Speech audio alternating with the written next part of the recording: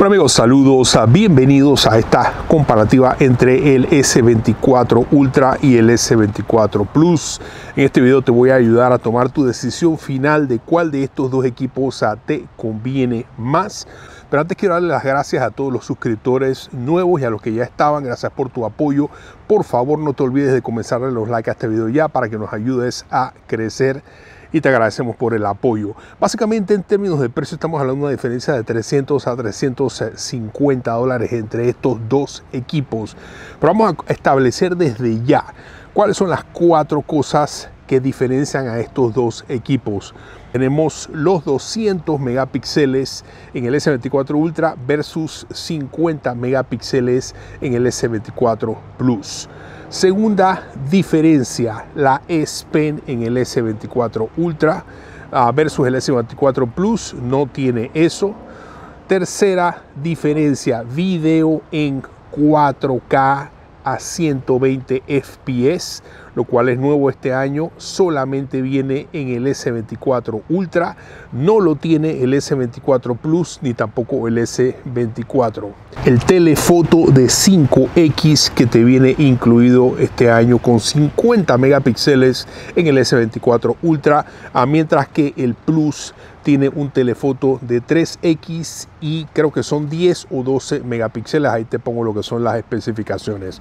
Básicamente esas son las cuatro cosas que hacen diferente a estos dos equipos. Por supuesto a nivel de diseño, a el S24 Ultra tiene material de titanio, las esquinas son cuadradas, el teléfono es más alto, más grande eh, y toma más ah, esfuerzo para manejarlo con una sola mano o con dos manos. Mientras que el S24 Ultra es de aluminio, igualmente que el más pequeño S24 también es de aluminio, pero este equipo es redondeado en las esquinas, más cómodo para manejarlo, eh, también eh, más delgado, más liviano también que el S24 Ultra. Sin embargo, tengo que reconocer que la sensación en la mano del S24 Ultra realmente es distinta a los otros dos eh, por su material de titanio y el acabado. Se siente definitivamente al al igual que el peso, un equipo un poco más sólido, más firme en la mano. Eh, con eso no estoy diciendo que el S24 Plus o el S24 sean malos, simple y sencillamente la sensación en la mano se siente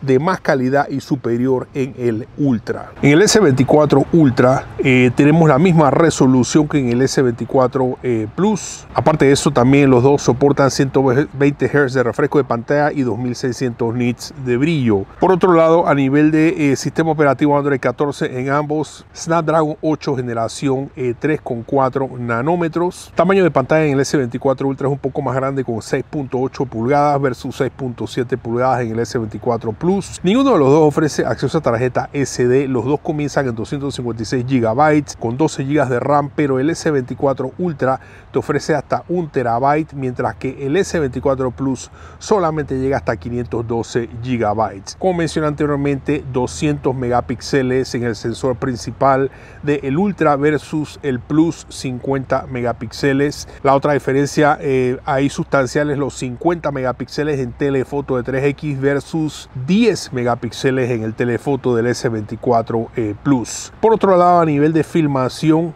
Ambos llegan a 8K hasta 30 marcos, 4K 60 con las cámaras traseras y 4K 60 con las cámaras frontales y 12 megapíxeles con las cámaras frontales en ambos hasta 4K a 60. Sin embargo, como mencioné anteriormente, el Ultra te ofrece video en 4K a 120 FPS este año, Bluetooth 5.3 y en términos de batería 5000 amperios en el Ultra versus 4900 en el S24 Plus. Pienso que van a estar muy comparables ya que el Plus es un poquito más pequeño, así que la batería debe estar bastante, bastante a la par. Ambos soportan 2600 nits de brillo. A propósito del video que viste que estábamos tocando de YouTube, era en 4K a 60 en Dolby Vision HDR que levanta aún más lo que es el brillo de las pantallas y ese video es de mi otro canal de vlogs aquí en mi ciudad. Te dejo el enlace en la descripción de este video por si me quieres eh, seguir. Vamos a echar aquí una vista a lo que son ejemplos de fotografía y video tomados en condiciones de día, de noche, utilizando todas las cámaras y darles a ustedes lo que son nuestras conclusiones finales. Bueno amigos, eh, como te puedes dar cuenta en lo que son las ah, fotografías y el video, eh, pues realmente a nivel de filmación estos equipos están prácticamente idénticos a la par. Eh, definitivamente la diferencia en fotografía y en video es el telefoto de 5X versus 3X óptico. Y por otro lado, lo que es también el video en 4K a 120 Hz. También por otro lado los 200 megapíxeles versus los 50 megapíxeles.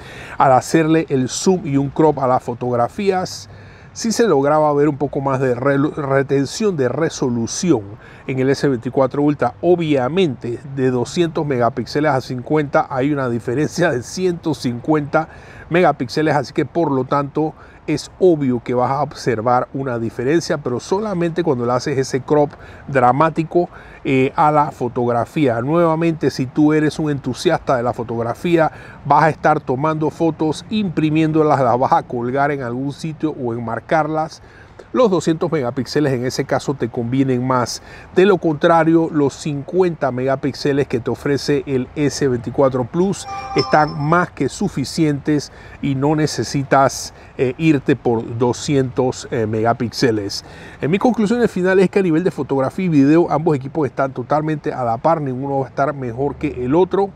Nuevamente, ¿para quién sería el S24 eh, Plus? Para una persona que no necesita la S Pen, para una persona que no necesita los 200 megapíxeles, que con 3X de zoom óptico te sientes satisfecho eh, y que no te importa los 4K a 120 FPS. De lo contrario, si vas a estar imprimiendo fotografías, si quieres sacar ventaja de los 4K a 120 fps, si vas a utilizar la S Pen, si te llama la atención imprimir fotografías y quieres los 200 megapíxeles y quieres un telefoto que llegue un poco más lejos óptico, pues definitivamente ahí te conviene el S24 Ultra.